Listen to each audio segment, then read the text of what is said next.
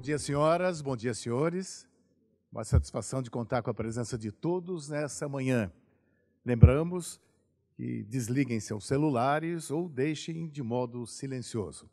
Estamos iniciando esse evento de grande relevância. É uma realização do Comitê de Bioética com apoio do Núcleo de Gestão de Pessoas do Hospital das Clínicas da Faculdade de Medicina da Universidade de São Paulo. Sobre o tema Bioética para Todos, este encontro vai discutir autonomias em discordância frente ao testamento vital, alocação eficiente de recursos públicos na área de saúde, o olhar bioético no compliance, a síndrome do burnout nos profissionais de saúde. Discutiremos também as fronteiras nos cuidados paliativos, direitos e deveres de pacientes e profissionais. Para abrir os trabalhos, convidamos o professor Dr. Reinaldo Ayer de Oliveira, coordenador do Centro de Bioética do CREMESP. Obrigado pela presença. Convidamos também o coordenador do Comitê de Bioética do Hospital das Clínicas da FMUSP, professor Dr. Xin An Lin. Neste momento, convidamos para fazer uso da palavra o professor Dr. Reinaldo Ayer de Oliveira. Professor? Bom dia a todos, a todas. Então, é, eu, eu venho aqui nesse momento é, representando o presidente do Conselho Regional de Medicina de São Paulo, doutor Lavínio Camarim, é, que não pôde estar presente. É, e ele também me pediu para representá-lo, porque, porque nós temos no Conselho Regional de Medicina de São Paulo um centro de bioética, que cuida das questões da bioética. Aliás, um dos, dos coordenadores desse centro de bioética, ao qual eu tive a honra de substituir o professor Gabriel Zelka, está aqui nesse evento. É, o Centro de Bioética do CREMESP tenta coordenar as atividades do Conselho Regional de Medicina nessa área da bioética e da ética médica. E para desempenhar esse papel, é preciso que a gente tenha vinculações com as instituições, principalmente as instituições universitárias, aonde existe algum foco, alguma ou alguma alguma, alguma comissão, algum comitê organizado. E é com muita, muita, talvez assim, com muita, muita emoção mesmo, que eu acho que a gente tem que levar para o lado da emoção, que a gente cita o Comitê de Bioética do Hospital das Clínicas, da Faculdade de Medicina, quer dizer, do Hospital das Clínicas, né, da Universidade de São Paulo, porque foi, seguramente, tem uma, uma, uma, certa dúvida aí contra um outro comitê, mas seguramente foi o primeiro comitê de bioética é, numa instituição pública. Quizás uma instituição privada também, o Comitê de Bioética do HC. É, também participaram desse Comitê de Bioética né, nas suas fundações e tal, o professor Gabriel, que está aqui, e o professor Marco Segre, que, é de, de nossa feliz memória, é, nesse encontro. Acho que ele estaria muito contente com esse tipo de encontro, porque o professor Marcos Segre gostava muito dessa questão de você discutir os aspectos, as questões éticas, né, com o maior número possível de pessoas e na diversidade. Eu acho que esse encontro hoje que se inicia, ele tem essa característica, não só pelo programa, como pelas inscrições. Eu fui cuidar de ver as inscrições, quer dizer, é um encontro em que você tem temas muito variáveis da área da bioética e tem diferentes personagens aqui que trabalham com a questão da bioética nas suas instituições, nos seus locais de trabalho.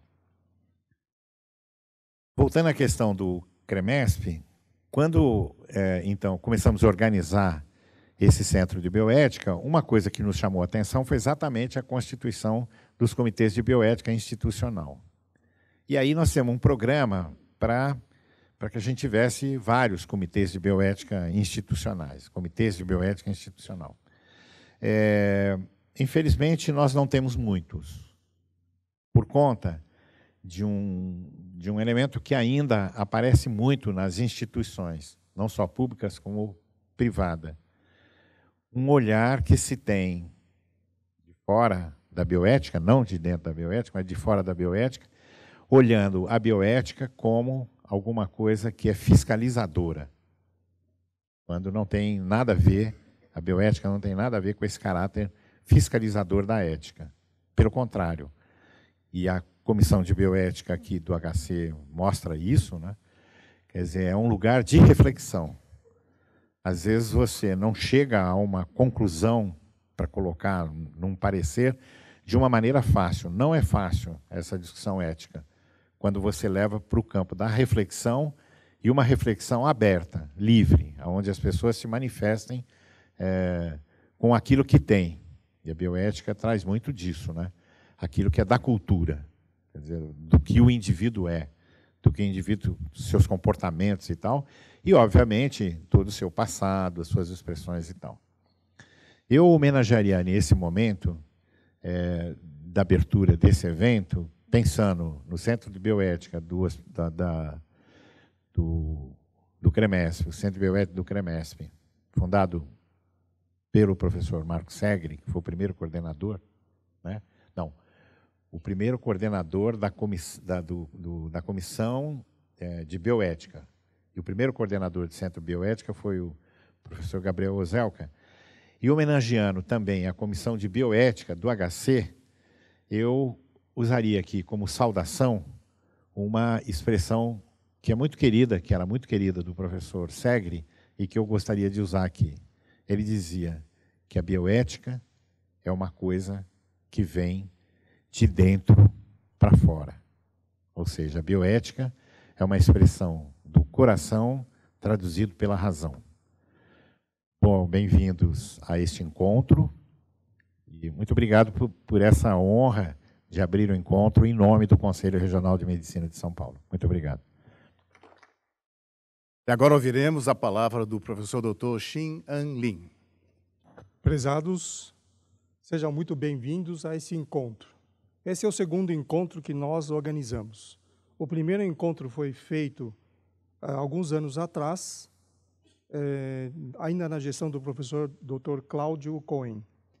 E quando ele é, deixou o cargo e eu estava assumindo, ele pediu pessoalmente que se fizesse o segundo encontro por ocasião dos 20 anos da fundação do Comitê de Bioética. Nós não conseguimos realizar a tempo, estamos com dois anos de atraso, mas, enfim, esse encontro foi gestado e ele está acontecendo agora. Para acontecer, para organizar um encontro de bioética, Aliás, o Comitê de Bioética do Hospital das Clínicas, se eu, se eu tivesse uma palavra para descrever, é a diversidade. Nós, nós temos muitos representantes de diversos setores, não só do complexo HC, mas também da sociedade. Então, essa é a palavra que pode representar o Comitê de Bioética, que é a diversidade, que é o que nós buscamos Diversidade, em diversidade nós temos um convívio, nós aprendemos a conviver e é, é desse convívio que nasce os princípios, nascem os princípios da bioética. Organizar um, um, um encontro de bioética não é fácil. Não é fácil porque bioética não vende remédios, não vende procedimentos e não vende equipamentos. Então, para que esse evento pudesse acontecer, nós usamos é, de muitos esforços e muitas colaborações. Então, para começar, eu que gostaria de quebrar um pouquinho o protocolo, não está aqui, mas eu gostaria de, de convidar o Dr. Maurício Seckler, que é o presidente da organização dos temas, para compor a mesa, embora ele não tenha fala, mas eu gostaria de convidá-lo e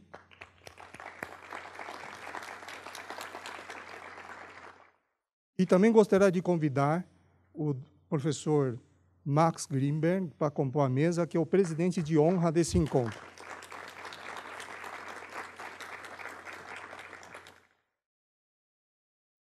E eu gostaria de tecer agradecimento às pessoas que conseguiram nos ajudar e fizeram possível acontecer esse encontro. Existe sempre é, um problema quando a gente tenta lembrar de todos os nomes, que é a injustiça de esquecer alguns. Mas eu vou me permitir, nesse momento, a tentar lembrar de nome de todos que colaboraram. Então, primeiro, não posso, não podemos deixar de, de, de lembrar do apoio da diretora clínica, a, doutora, a professora doutora Heloísa Albonfá, que possibilitou este encontro. E a segunda, e a, e a segunda, segunda instituição que eu queria lembrar é o Instituto da Radiologia, que nos cedeu esse espaço confortável, muito apropriado para esse tipo de encontro. Depois, eu gostaria de lembrar da colaboração do Núcleo de Gestão de Pessoas, sob a chefia do, da querida Cláudia Ma, é, Maiu, Cláudia Maiu, é, gentilmente cedeu sua equipe, é, das pessoas da senhora Maria Cristina e Ângela, senhora Vivian, da equipe, com a equipe Regina, Raquel e Carmen, o grupo de apoio que é a senhora Tatiana, Tatiane, Leda e Raquel, e núcleo de comunicação institucional, a senhora Vera Velucci e a senhora Rita, e o jornalista, o, o senhor Fernando eh, Zamiti, da Escola de Governo e Administração Pública, a senhora Lilian Ramadan, e os nossos patrocinadores, primeiro gostaria de lembrar da senhora Naira, do buffet Mão de Fada, que gentilmente cedeu gratuitamente, graciosamente, o, o, o coffee break. Então, daqui a pouco, todos nós vamos poder, graças à, à intervenção da Maria Cristina, né, que, que, é do, do, que gentilmente conseguiu esse, esse patrocínio. Nós também temos SP é, Previcom, que tem uma stand, e depois cartão do servidor. Vocês podem perceber que são todos organismos do governo do Estado. E depois nós é, temos uma colaboração com a editora Elsevier, que cedeu as canetas e também três e-books que serão sorteados ao final desse encontro. E também, por fim, uh, Flight, o que cedeu águas para os nossos palestrantes.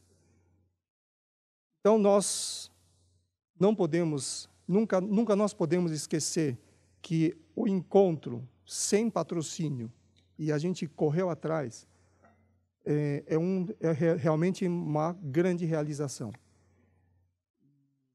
Quero agradecer em especial a Vera Schwartz, que é a pessoa que costurou esses, esses, essas inúmeras reuniões para possibilitar, para possibilitar uh, esse, esse apoio logístico, e a secretária do comitê, a senhora Marlene eh, Souza, eh, que tem sido uma, um braço direito para que esse encontro pudesse, não só esse encontro, mas todas as reuniões do comitê.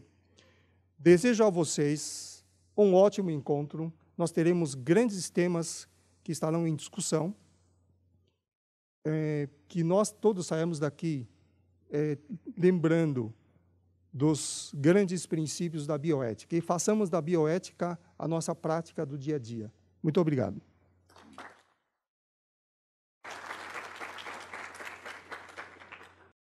Obrigado pelas palavras do professor Dr. Shin. Nessa sequência, passaremos a um momento especial. Momento de homenagem àquelas personalidades que ajudaram a fundar o Comitê de Bioética do HCFM USP. Devemos a essas pessoas, essas personalidades, a existência do comitê. Solicitamos a presença do professor Dr. Shin para as homenagens e, claro, convidar aqueles que serão homenageados. É claro que a minha primeira lembrança, quando se fala de bioética, é o, é o professor Marco Seg. Mas outras pessoas influenciaram positivamente e possibilitaram a existência desse comitê. E, e gostaria de chamar essas pessoas à frente e entregar uma singela homenagem. Sem essas pessoas, nós não teríamos não só o Comitê de Bioética, mas essas pessoas, como pioneiras, é, trouxeram para nós a noção dos, dos princípios da bioética. Então, eu vou abrindo a placa e as placas e chamando um a um. Primeiro, professor doutor Gabriel Ozelka.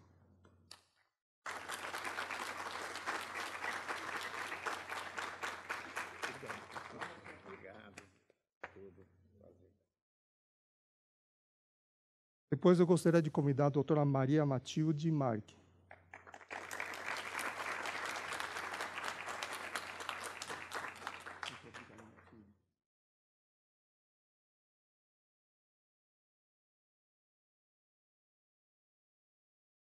Doutor Itiro Suzuki.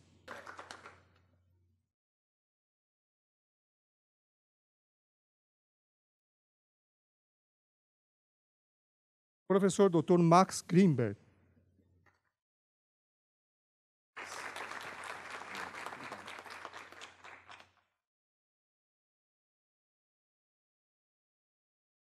Dr. José Carlos Ramos Castilho.